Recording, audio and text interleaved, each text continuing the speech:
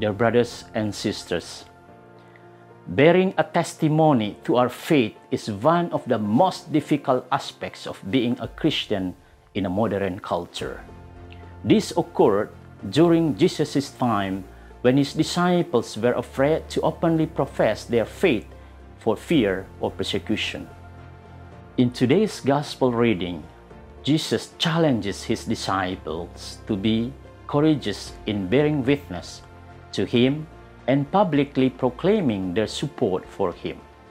He also assures them that bearing witness to him will teach them what they must say when the time comes.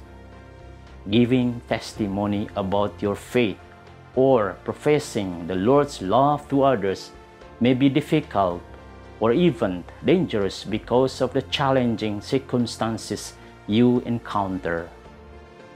The Gospel reading today challenges us to work to resist that temptation. The Holy Spirit, as Paul says, assists us in our weakness.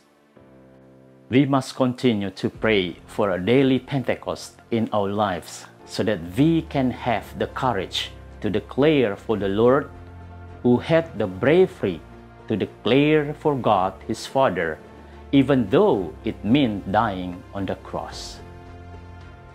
Are you brave enough to be Christ's witnesses in your daily lives?